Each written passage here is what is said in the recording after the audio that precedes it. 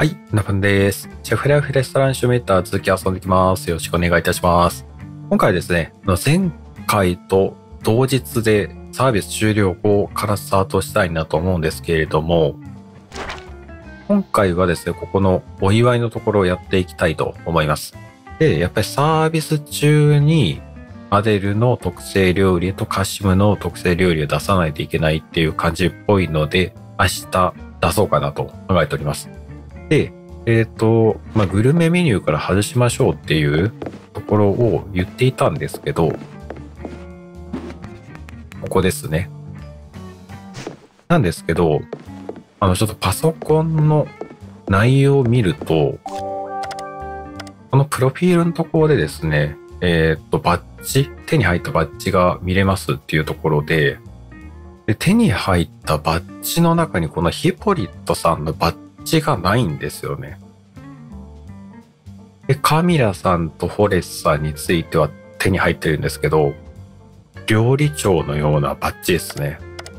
がまだ入ってないんですよ。多分この位置に入りそうな気がするんですけど、それが入ってないっていうことは、なんでもしかすると、ミシュランガイドの星またはビブグルマンの栄誉を勝ち取った後に、その状態でこのお祝いをクリアしないといけないのかなというところがあるので、このままグルメメニューで進めていきたいなと思います。まあ、この内容的にも栄誉獲得を記念してって書いてますからね。まあなんか、このグルメメニューからニュートラルに外そうとしようとすると、あの、進捗失われますけどいいですか？みたいな、あの、コメントがあるんで、ちょっとなんか怪しいなというところがあったんで、このまま進めていきたいと思います。ですので、本日は82日目か。はい。ん？レストランに害虫が発生しています。え？あ？やばいやばいやばいやばいやばい。おお賞味期限切れ、あ、これか。え、冷凍してても賞味期限切れ、ああ、そうかなるのか。ああ、これ、捨てないといけないですね。ここで OK? いや、なんかまだ、ついてますね。まあちょっとあれかな。まあ冷凍の星1とかのやつはもう出すか今回はちょっと仕方ないですけど。で、今回は、えーっと、もう3人の得意料理ですね。特製料理か。これをもう全部出しましょう。というところで、うーん、ペストパスタは一番簡単なんですよね。私がブロッコリーとナッツかな？を焼けば、星4にプラス取れるんで。でミルフィーユも即6個作れるんで OK で、まあ野菜のカリカリか、違うな。いつも野菜のカリカリ言ってますけど、豆腐のカリカリ焼きっすね。か、野菜のカルパッチョ。うーん、豆腐を外すか。で、トップ、得意料理じゃなくって、毎回得意料理言っちゃうんですけど、特製料理ですね。この地中海産マグロを使おう。うん。お、なるほど。あ、こういうストーリーもあったんだ。最高のメニューだね。アデルとジローの料理と一緒に僕のが並べられると、ついにここまで成し遂げたって実感するよ。えー、ミシュランガイドの星取りましたよ。早くお祝いしたいな。じゃあキッチンに行くよ。みんなを呼んで飾り付けておくから。あ、そういうことメニューに入れればよかったっていうことだけ？ここでクリア？どういうこと？あ、メニューに入れればよかっただけっぽいっすね。まあ、けれども、あれだな。まあ、ちゃんと下ごしらえして出さないといけないような気がするんで、まあ、秀逸の食材を使ってやりましょう。けれどもなんか冷凍庫がなんか文句言ってるんで、何が残ってんだろうこれ。よーくわからないですけど。まあ待ちますか。なんかずーっと出てますかね、これ。なるほどね。3つ全部出したら、アシムが喜ぶと。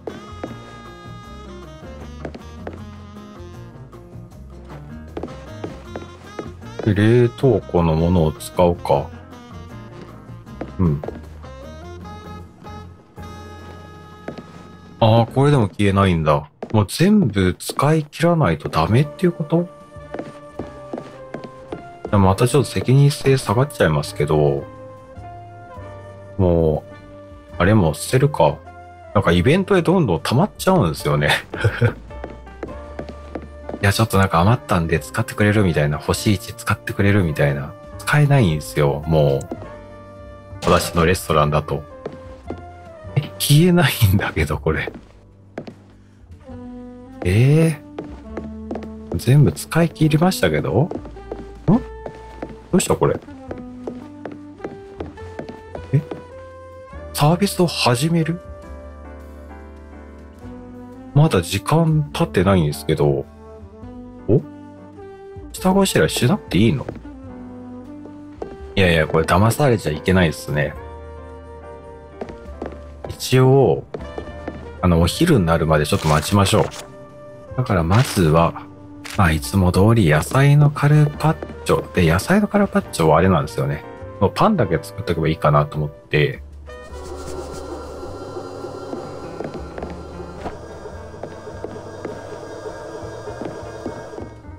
いや、けどいきなりがあったらちょっと嫌だから、一応、2個ずつ作るか。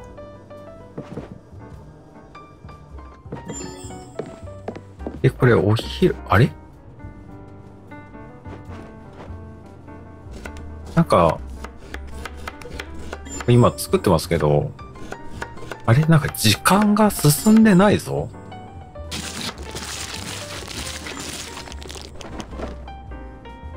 あ、時間進んでない。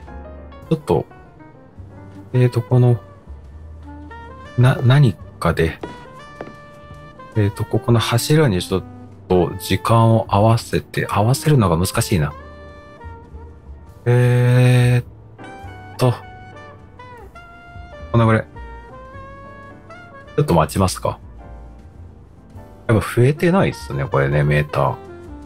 あ、ということは下ごしらえしなくていいんだ。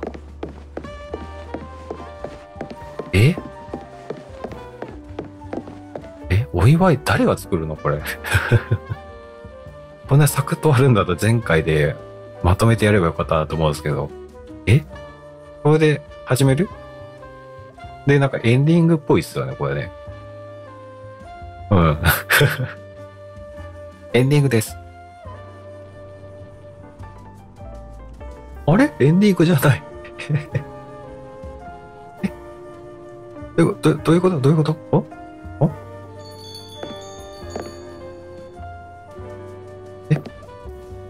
いやいや ああ、そういうことね。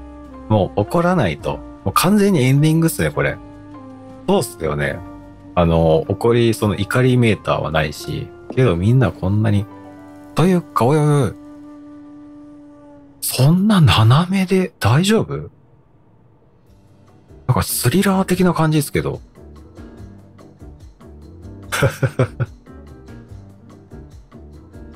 大丈夫かな？え？自分がおかしい？いや、ちょっとおかしいな。斜めすぎない？ああ、そういうことね。もう、お前が作れと。我々はずっとコーヒー飲んとくから、みんなコーヒー飲んでんな。お前が一個一個丁寧に作ってけと。そういうこと言ってるんですね、これはね。そんな終わり方あるかよ。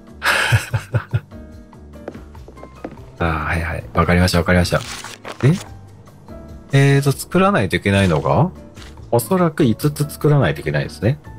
えー、ということは、今からこれ、のんびりでいいけど、何？えっ、ー、と、5種類作れって？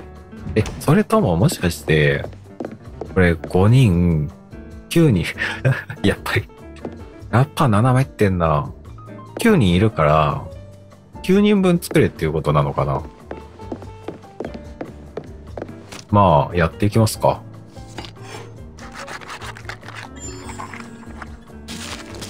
けど、まあ、レースカーはね、あの3人にはすごい助けられたんで、まあ今日ぐらいはゆっくりしてくださいというところかな。けれどもこれ、一から全部一人で作れば、と大変だな。手伝ってほしいな。やはり考えるとあのままグルメメニューから外して、で、二郎ちゃんのメニューを外して、例えばカシムさんの料理だけを出すとかってやってたら、これ、言ってなかったかもしれないですね。また、なんかミシュランの星、ミシュランガイドの星か、取り直さないといけないっていう可能性があったかもしれないんで、え、よかったよかった。けど、サクってやらないとこれかなり時間かかるぞ、これ。なんかあれですかね、一品作るごとに、なんかエンドロール流れ始めるのかな どうなるのかが楽しみなんですけど。これずーっとこれ無言で、あと8品作るってなると、かなり辛いけどな。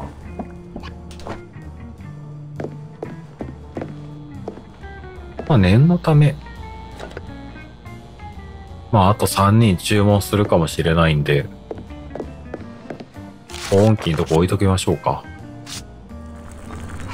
なんかこの後考えられるのが、この3人の特製料理さえ作れば終わるっていうケースと、あとはこのメニューに出した5品を出すっていうのと、あと最後に今9人いるから、9人分なんか好きなこの5品の中から好きな料理を頼むっていう。どれだろうなまあ一番初めのこの3種類だけ作るっていうのが一番嬉しいですけどね。寂しいな、なんか一人でやってると。すごい斜、めってんな。これ誰が食べんだろう？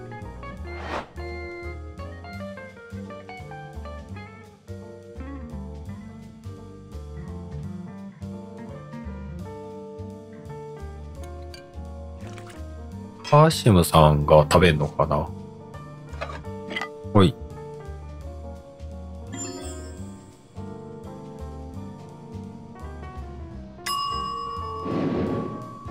や、調子はどうだい？まあ、絶好調なのは明らかだな。だってこの料理を見てくれよ。素晴らしいじゃないか。なあ、調理師学校の時一緒にレストランを開こうって約束したじゃないか。あの話はここまで立派になるとは思いもしてなかったよ。僕たち才能あったけど、かなり壮大な夢だと思ってたから。あ、びっくりしたびっくりした。急に英語になったのかと思ってちょっと驚いたんですけど。うなパンが友達で誇りに思うよ。僕がいつだってサポートするからね。おう。ということはなんか、やっぱ3人分作れば終わりそうな気がするな。3人分ってか3種類。うん、なんかそんな感じっすね。もうなんかいろいろ持っちゃったんで先にミルフィーユ作るか。じゃあまあある程度出来上がったんで。あれ？なんで S なんだこれ？S じゃなくてなんで A なんだこれ？あれ？調味料入れたはずなんだけどな。なんかこれ、なんか出したくないですね。最後の最後で。もう一回作り直すか。あれなんだっけな。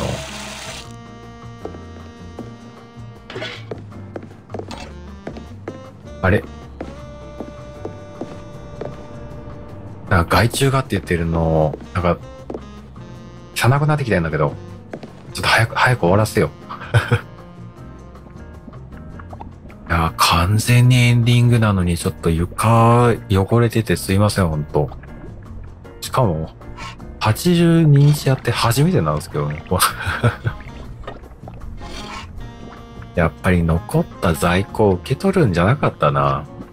あれ受け取らないと責任性が下がっちゃうんですね。どっちみち捨てたら捨てたいです責任性下がるし。よし、S プラス出来上がったな。よし。じゃあ後でこれは作りましょう。全部出来上がったんで。いやちょっと掃除したいなこれ。棚。よし。じゃあアデルさんとの会話っすね。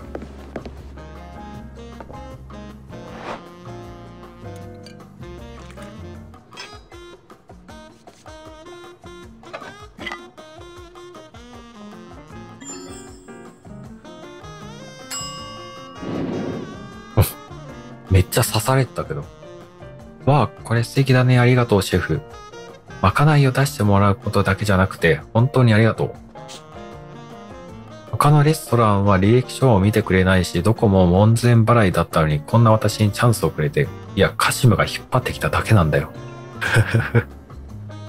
ここで腕を磨いて本物のシェフになるには、行々しい卒業証書なんていらないってことを自分にもみんなにも証明できたよ。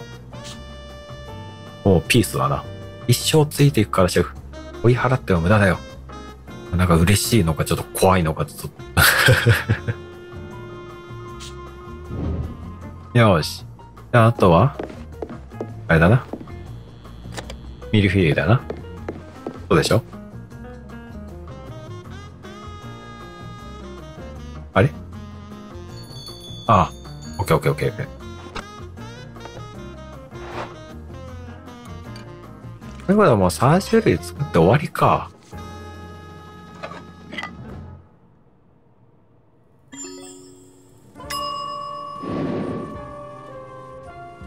ありがとう、シェフ。すごく美味しそうな料理だ。まさに期待してた通りだよ。あと、いつも俺を信頼して仕事をさせてくれて本当に感謝してる。いやいや、私こそ。いや、これ15日くらいずっとジローちゃんの力借りてましたからね。ジローちゃんいなかったら無理でした、ほんと。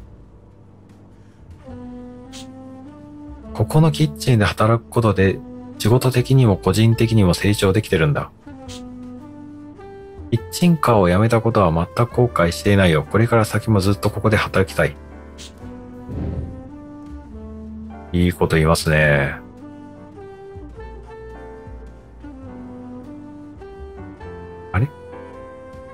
まだなんか作れて？では残り、あ？え？特製料理3種類を9人に出さないといけないっていうことこれ。あと5人作らないといけないっぽいですけど、もうみんなミルフィーユでよくない？そうしてほしいんだけど。で、残りの、ん？えっ、ー、と、6名とまた会話があるのか。これ結構長いっすね。お、パリさんだ。おはようシェフ。ご招待ありがとう。サービスの間はあまり話す機会もないからね。そうだね。会話諸行ないね。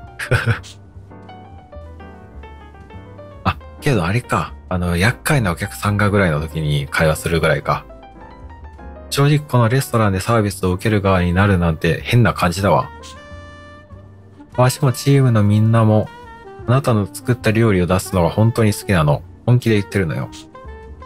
受賞したことで新しいお客様が増えるでしょう。その方たちに接客するのが楽しみだわ。いいチャレンジになるはずよ。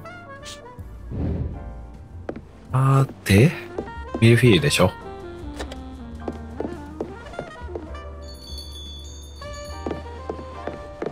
そうですか。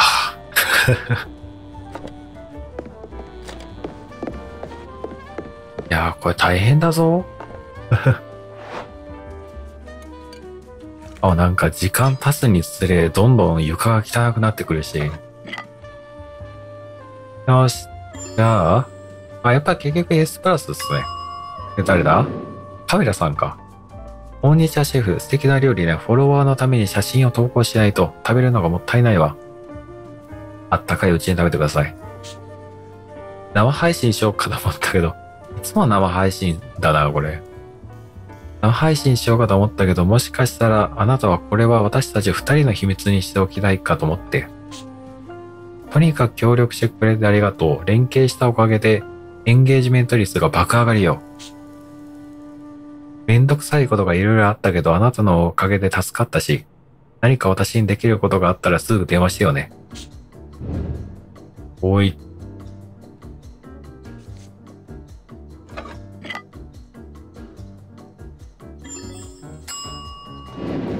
あ、ホエスさんか。やあ、シェフこんばんは。今夜は凝った飾り付けをしたんだね。とても上品だよ。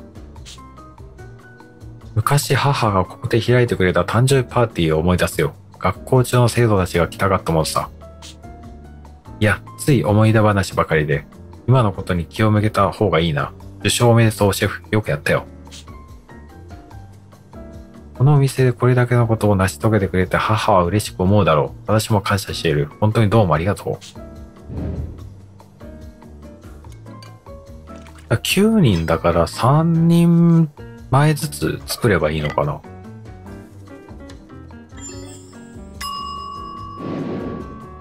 マークス。ね、シェフ、必要なものは冷蔵庫に全部入ってる。何かいるものがあればすぐ取ってくるよ。いやいやいや、いらないぞ、ほんと。注文したものだけください、ほんと。商品をここで使ってもらって嬉しいって業者からいつも言われてるんだ。本物のセレブになったね。もうとっくにセレブだったかもしれないけど、受賞して証明されたね。何か必要なものがあったら言ってよ。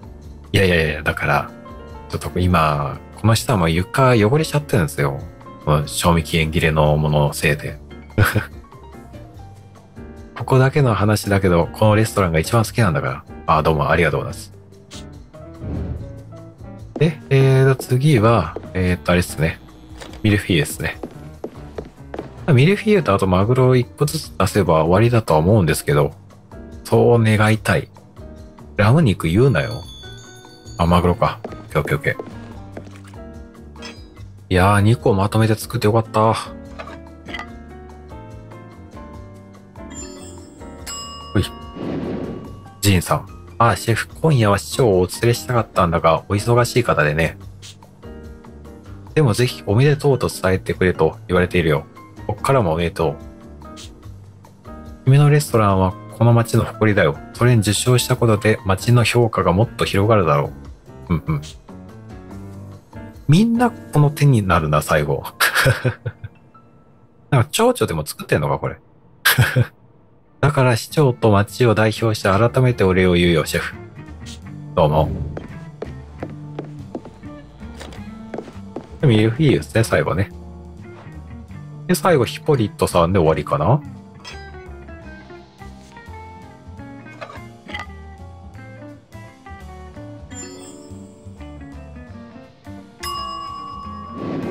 最後、背伸びするんだ。背伸びいらなくない？おめでとうシェフ。これで君と私のレストランは同レベルということだな。君が店を始めた時、君がライバルになって私自身が努力するための刺激になればいいと思ったんだよ。同レベルです。差しすぎよ。おい おいおいおいおい。うち当たるぜ、これ。私の店が街で一番の座をキープできるように、明日から今までの2倍働くことにするよ。それはやめた方がいいよ、それ。1.2倍ぐらいでいいと思う。その調子で頑張ってくれよ。はい、背伸びして終了と。サービスが終わりました。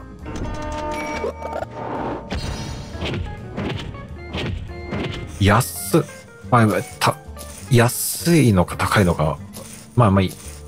3000円、いつも6、7000円ぐらいだったんで。3000円に驚きましたけど、お金くれるんだ、しかも。どうも。このレストランは最高。最高の食事をするのはここで間違いなし。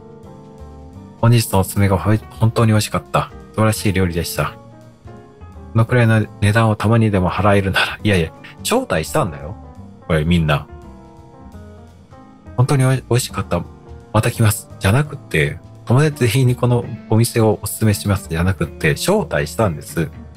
なんか他人みたいなやめてこれ。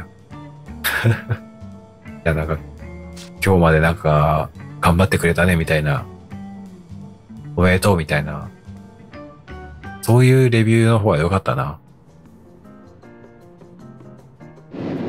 あ、バッジをアンロックしましたっていう、なんか表示されましたね。やはり、続けてよかったんだな。終わったね。みんな帰ったよ。突然空っぽになった感じがしないかい。掃除のことは心配しなくていい。僕がやるから。本当だよ。なんかすごい今、汚れてるから。こんな素晴らしい賞を受賞するなんて不思議な気がしないかい。でも賞が全てじゃない。お、まだ長女ですか？お客様が何度も来てくれるのは全ての料理に注ぐ僕たちの情熱と才能のためだよ。常にいいものを提供して新鮮なアイデアをいつも模索している。その強い意志がこのレストランを作っているのさ。明日はまた気持ちを新たに仕事しよう。忙しくなるからしっかり寝ておかないとね。ああ、これでエンディングなんだ。なるほど。いや、グルメメニューにして、えー、っと、あれっすね。この15日間まあ、あの11日目が失敗しなければ、あれだったんですけどね。11日目でクリアしてたっていう感じですけど、なので16日目か。で、ミシュランガイドの星取れてよかったっすね。まあ、こういうエンドロールが流れますっていうところで、終わりのところまで飛ばしますか。終わりましたか。ほんと誰もいなくなったな。えで、バッジをアンロックしましたって、ポリットさんのバッジじゃないか？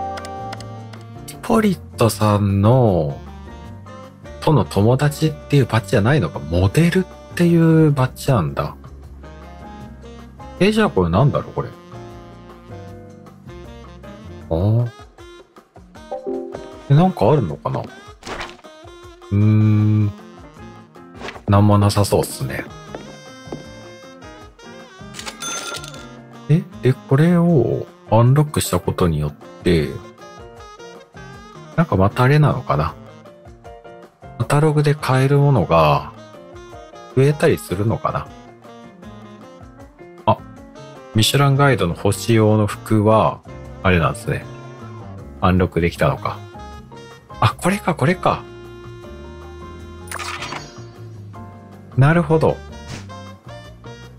ということは、これで、でロッカーで、えーと、服装とかが変えられる？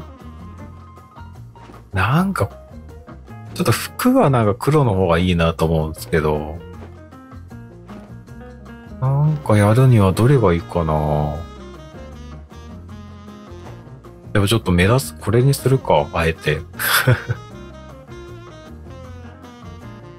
よし。まあ、タトゥーとかはまあいらないかな。うーわ。すんごい色だな。よし、これであれっすね。違和感しかないな、これ。これでミシュランガイドの星取れましたよ、というところと、あとは、まあ、ストーリー全部クリアしたっていうところで、この、色はちょっとあれですけど、このハットをゲットできたというところですね。まあ念のためあれだな。なんかこの汚れとか気になるから、翌日進んで何か変わるかを見て、だからちょっともう一度、ちょっとパソコン見るんですけど、えっと、街のヒポリットさんのこのバッジは、これっすよね。モデル。そうっすよね。だからこれで、やっとストーリー、ストーリー進捗か。グルメメニューの方の進捗が終わったんで、これで翌日に進んで、またビブグルマンの方とかっていうのが進められるのか。これで83日目と。おー、やっぱりそうか。やそうなりますよね。高水準を維持するミシュランガイドから最も権威ある栄誉を授与されました。キッチンでの作業を完璧にこなし、顧客満足度を維持して栄誉を保ちましょう。保ちましょうっていうのはどういうこと？これ、バッチ取られるの？これ。コンテンツのアンロック、メインストーリー終了後もアンロックできるコンテンツがたくさんあります。まだ作ったことのないレシピに挑戦して、カタログにあるアイテムをすべてアンロックしましょう。はい。追加コンテンツ、その他のコンテンツへのアクセスについてはカタログのダウンロードコンテンツページをご参照ください。現在公開中の追加コンテンツの他にも今後さらに追加予定です。ご期待くださいと。はい。で、これを、グルメメニューを外すと、A を獲得に向けた現在進行状況は失われます。ええーやけど外さないと、あれですもんね。えっ、ー、と、キャラクターの方か。このビブグルーマンのバッジ取れないですもんね。だからまあ外してみましょう。この時点で。どうなるか。まあ取ったからもういいでしょう。ほい。OK。スパメニューを選択すると、いずれはミシュランガイドのビブグルマン認定を目指すお手頃価格ながら高品質な料理の道を進むことになります。しかし、ミシュランガイドの星獲得への道は閉ざされます。バッチ消えるのかな？やってみましょう。さて、この服持ってますよね。え、バッチ、栄誉とかどうなったかのかな？あ栄誉がミシュランガイド選出になっちゃった。けれども一度取ったからここからは消えないんですね。まあいいでしょう。ビブクルーマン取りましょう。というとこでやっとエンディングですね。じゃあ残りのもう一個の道もちょっとやっていきたいと思いますので、はい。では今回はここで終わりにしたいと思います。ご視聴いただきありがとうございました。